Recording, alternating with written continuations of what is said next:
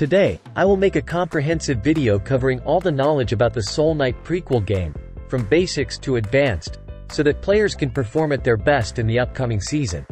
I believe that in this video, both pros and newbies will discover things they didn't know, as I myself have come across some things despite having extensively researched the game.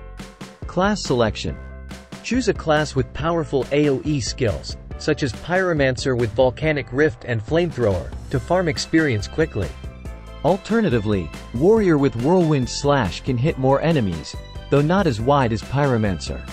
Equipment Preparation You need to prepare an appropriate set of equipment for the class you have chosen. You can return to S0 to farm it as quickly as possible. To determine how to farm it, you need to consider the equipment you want on which map, and then go to that map to farm.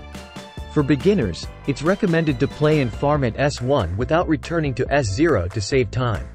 Leveling up quickly. Complete one map round to get Valkyrie, then farm in Valkyrie for fast experience. If you can't handle it anymore, return to other maps to farm equipment or stones and then go back to Valkyrie for express farming.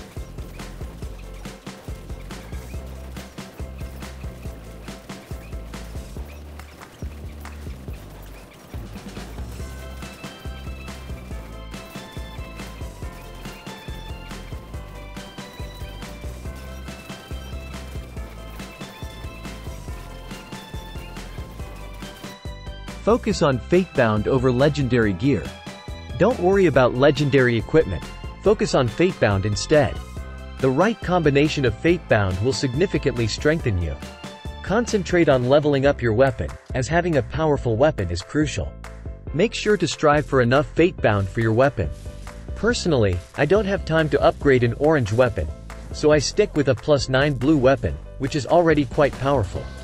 After S1, I plan to focus on fast farming to obtain the best equipment later on.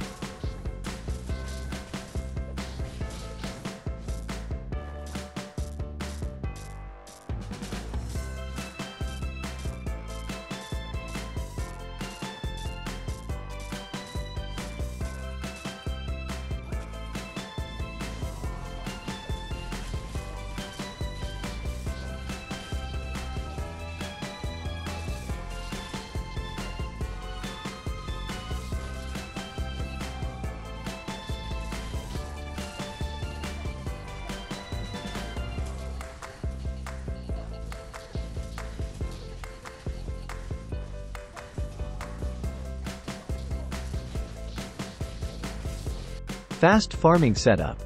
Equip gear with movement and attack speed bonuses. High damage weapons to quickly clear mobs and defeat bosses.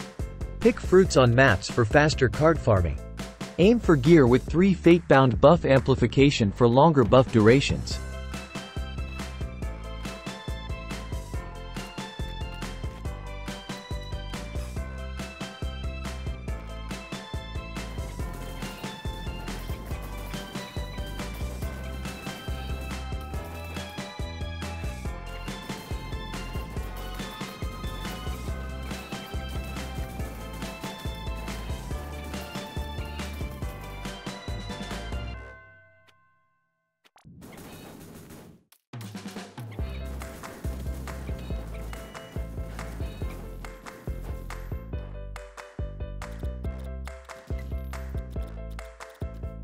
Quick Fatebound acquisition.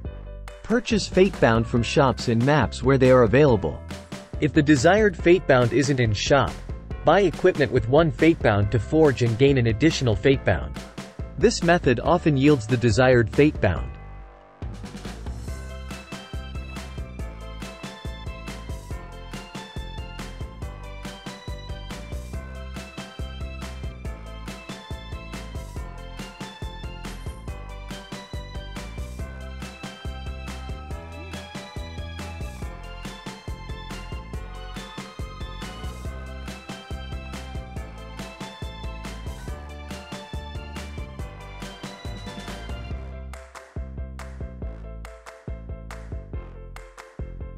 Legendary equipment farming. Farm directly from bosses, especially the boss, Elite. Farm cards to exchange for equipment, a reliable method.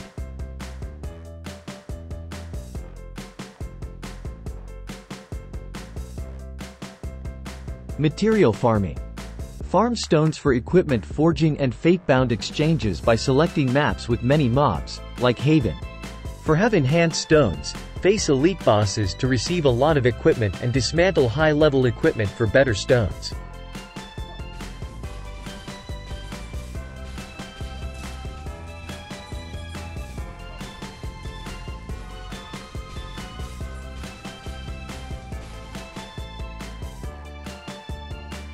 Completion of difficulty levels.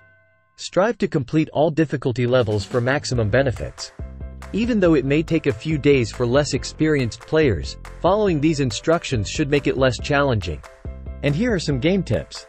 Use fruit juice to increase luck when farming cards. Purchase a bag to have more space.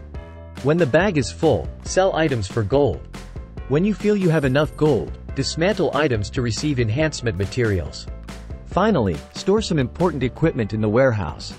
Remember to find the NPC for crafting fruit juice.